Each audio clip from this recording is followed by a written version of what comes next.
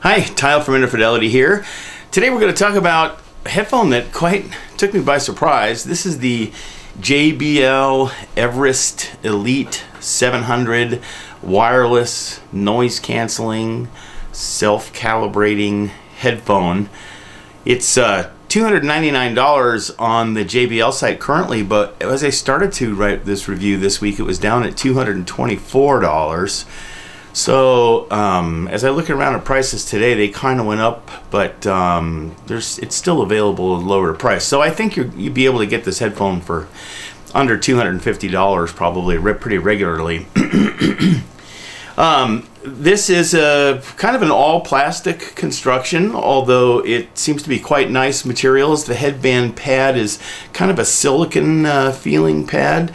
Um, the ear pads are protein leather and they're, they're very um, comfortable. Uh, the, the ear pad opening is, a, um, I would say, kind of about average, which is generally speaking a little small for people with uh, big ears, unfortunately.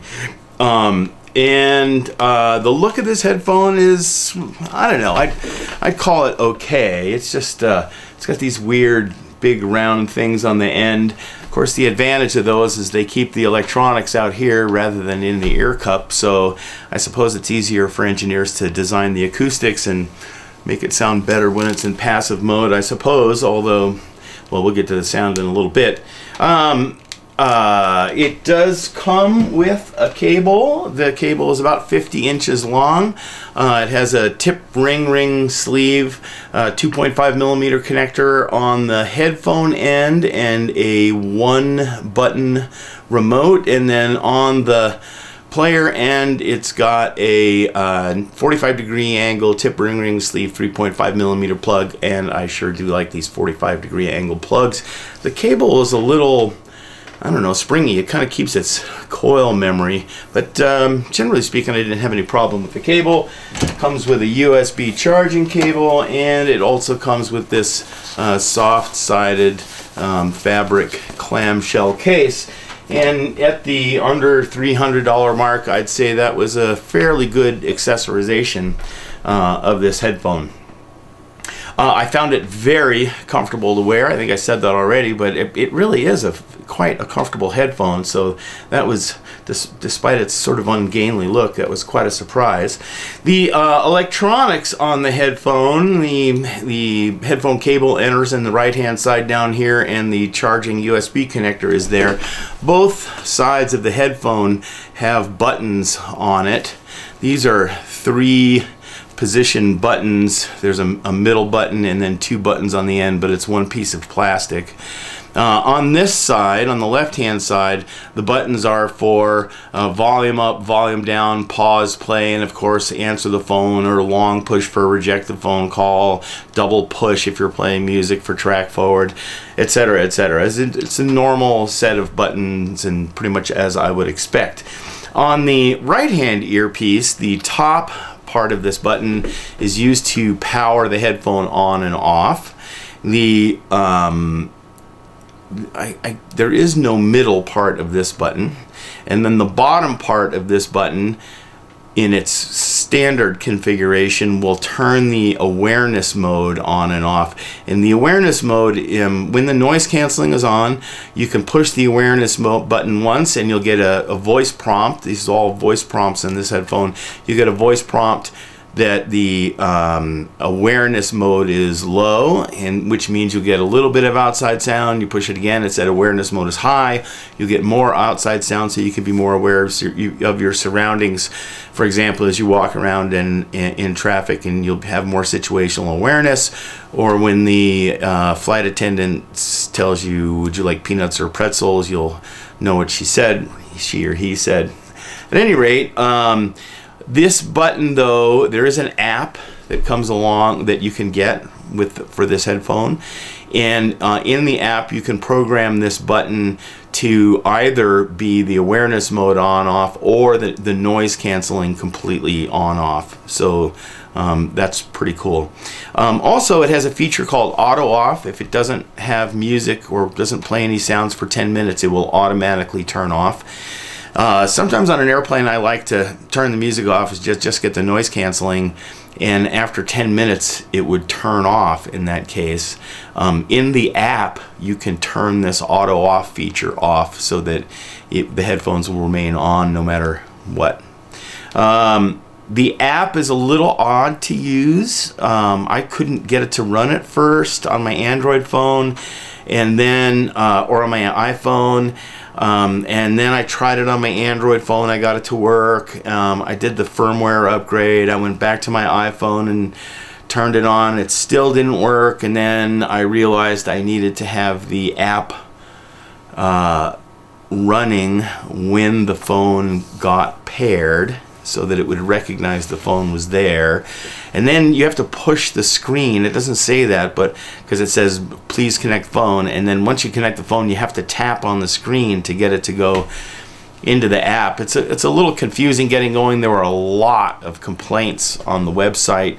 I think a lot of the complaints have been fixed in the firmware versions, but um, it's still a little sensitive to the order that you do things. So I'll forewarn you on that. The app has the ability to turn noise canceling on and off and program this little button down here for whether uh, this little button down here for whether you want it to be the awareness mode or the noise canceling on and off. The app also has a 10 band equalizer in it and when you set the EQ for the headphones the EQ is stored in the headphones so it will then continue to have that EQ as you go from device to device but if you turn on the app in another device even without setting the EQ it'll reset the EQ inside so um, there's a little bit of a hitch there, but uh, not really a big deal. Sound quality is surprisingly good. Um, when it's in wired passive mode, the uh, upper mid range and is kind of forward sounding, and a little the headphones are a little hard sounding. Um, the bass is good. Um, not quite strong enough given the strength of the upper mid range. It gets kind of pushed into the background, but it's it's fairly good uh, and tight. Um, the uh, mid treble from four to eight kilohertz is kind of gone missing in this headphone, and it gives it a um, uh, it, it, it, sort of a lack of nuance in the high frequencies in the treble. It, it, doesn't quite have this smooth, well resolved um, sound to it. It's just a little I, guess edgier. It's not really edgy.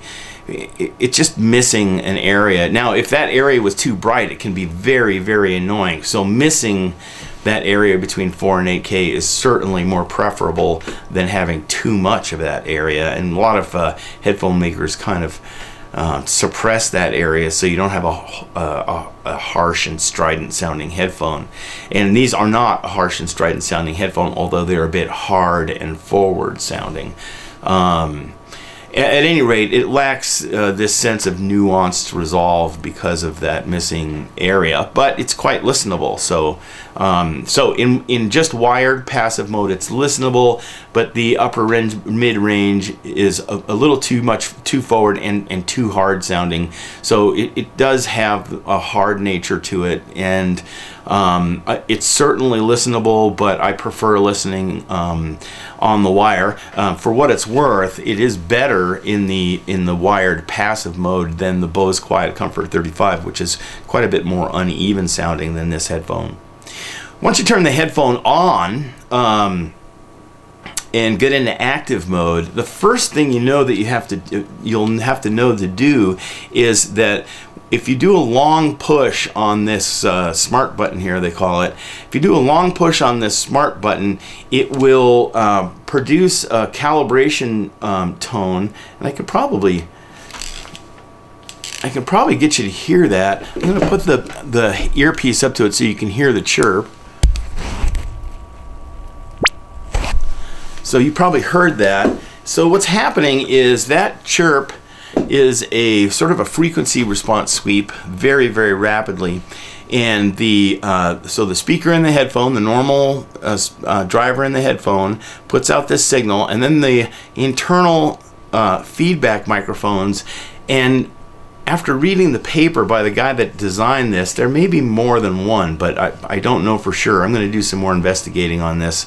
But the um, there's another microphone inside listens to that tone sweep, and the assumption from what I get from reading the paper is that if the response is correct in the cup outside the ear, then they can assume that the ear pinna will do its job by the time the sound gets to the entrance to the ear canal. So they're they're they're they're EQing the sound inside the cup to be like the sound field of a speaker as as it's right near your ear and then they EQ that to be a normal room response which they take as the Harman room target response. And then they assume the ear will do the rest. So it's not really compensating for the shape of your ear or anything like that uh, uh, things like that as much as it is compensating for this acoustic chamber that has your ear in it.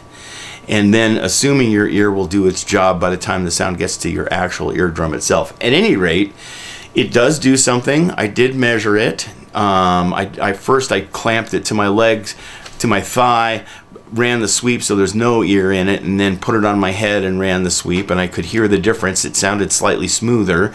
Um, it's subtle but it was pretty clear that it did that.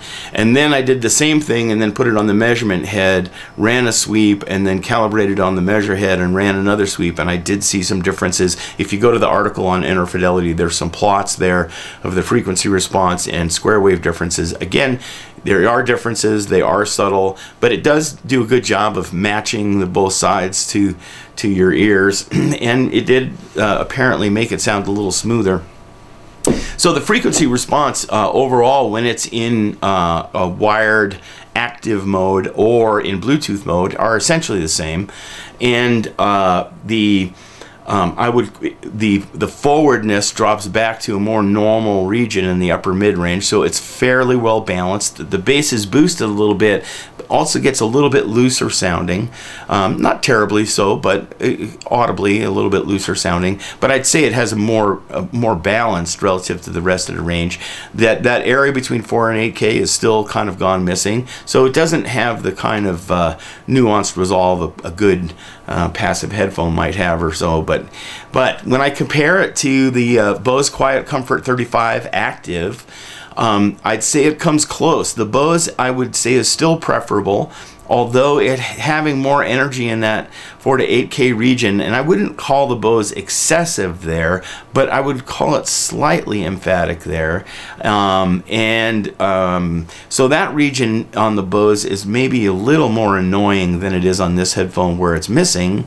However, the Bose has overall a better bass response, better transition into the mid-range, maybe just overall a little bit more balanced sound, but, but it's close. This headphone um, although it gets less hard sounding than when it's passively on the wire, still remains a little strident, not strident, a little hard sounding, um, um, and a little forward in the upper mid range, but not not as much as when it's off the wire. So all in all, it's actually pretty good. When I compared it to the Sennheiser Momentum wireless headphone, I thought this one was actually quite a bit superior. The Sennheiser Momentum wireless was was quite a bit harder sounding. So um, this is close.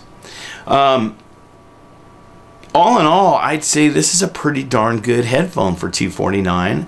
Um, I'm gonna put it up on the Wall of Fame. The the um, the trick here on the Wall of Fame is is that I'm getting a lot of wireless headphones that are going to be coming in, and I think a lot of these headphones aren't going to survive on the wall very long. Um, still, um, this headphone at this price is going to be tough to beat. I think there's a lot going on that's good in terms of having an EQ that you can carry with you and calibrating to your ears, um, having the ability to uh, hear a bit of little uh, ambient noise when you want to, or yeah, ambient sounds when you want to. Um, I'd say this is a pretty fully featured, well thought out package. Uh, and um, um, pretty happy to see JE, JBL um, kind of entering the fray in a powerful way with this headphone. Uh, I will soon be um, reviewing the AKG N90Q, which is like the big daddy of this headphone. also has the self-calibrating modes and so on. And uh, it's going to be interesting to see how that one fares. At any rate, the JBL Everest Elite 700 wireless headphone, uh, noise canceling, ambient aware, self-calibrating, um, is good. And hope you get a chance to listen one soon. This is certainly one if you want a, a, nice, relatively low-cost traveling headphone that's not offensive and um, you're not going to drop a lot of coin on. Um, this is a good buy. So hope you get a chance to hear one soon, and we'll see you guys the next time.